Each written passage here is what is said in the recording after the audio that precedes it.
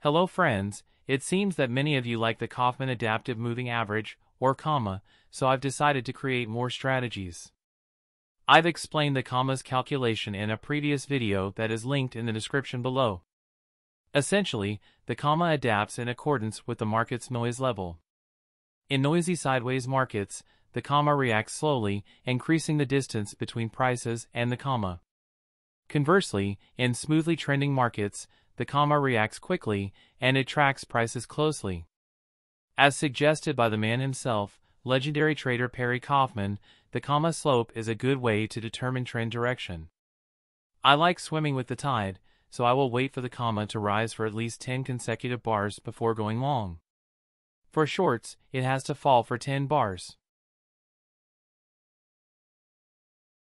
This time, let's look at spot gold, which is a very popular market due to its high liquidity and volatility. It often responds well to changes in market sentiment, and its inverse correlation with forex pairs such as the dollar yen make it a good addition to a forex portfolio. Let's run this through the genetic builder for a few minutes. Don't forget to like and subscribe to keep the channel going.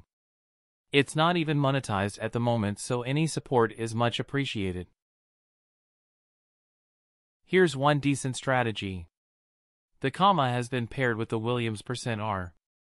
It is largely a carbon copy of the stochastic oscillator and compares the closing price to the high-low range over the past 20 periods, as per this formula.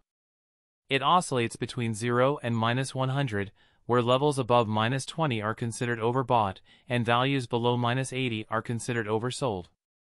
For this strategy, we want the KAMA to indicate a sustainable uptrend and the Williams percent %R to exit overbought conditions. Buy stops will be placed at the highest close over the last 30 periods, which have to be triggered over one bar only.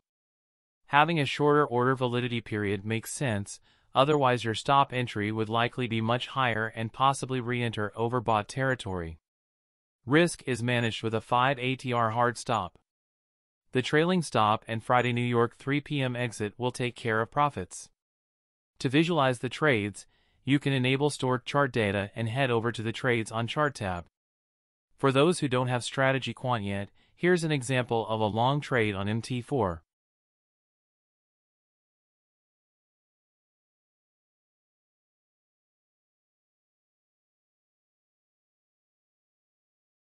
And a short one.